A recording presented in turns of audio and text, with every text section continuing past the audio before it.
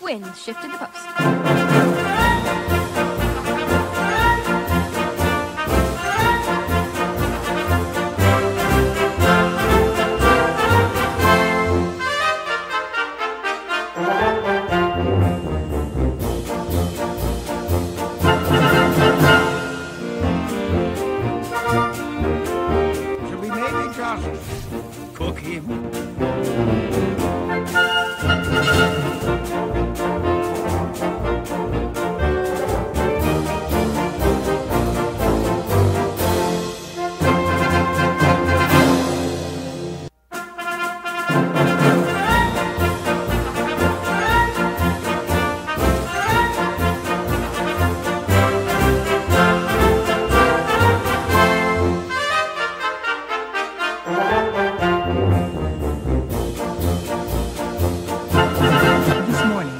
Husking the coconuts and.